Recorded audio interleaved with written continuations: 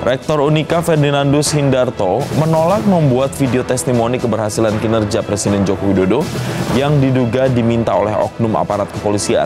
Sejumlah sivitas akademika dari berbagai kampus di Semarang diduga diminta membuat dan mengirimkan video testimoni kinerja sukses Presiden Joko Widodo oleh oknum aparat kepolisian via pesan singkat.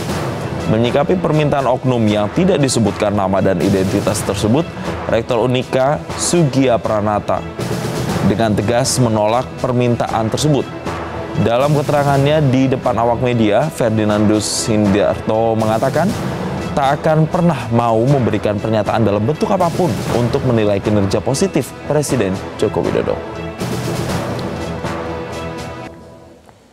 Jelajahi cara baru mendapatkan informasi. Download Metro TV Extend sekarang.